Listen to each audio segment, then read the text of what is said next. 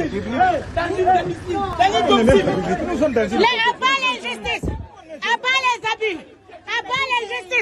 Nous sommes attaqués à Gawal, à bas les. Le général Mamadi Doumbouya n'a pas besoin de ça. Le général Mamadi Doumbouya n'a pas besoin de ça. On veut la paix à la République de Guinée. Vous voulez la paix. Le général Doumbouya n'a pas besoin des abus. Vous mettez le gars, il l'a frappé, il l'a blessé, il l'a tué.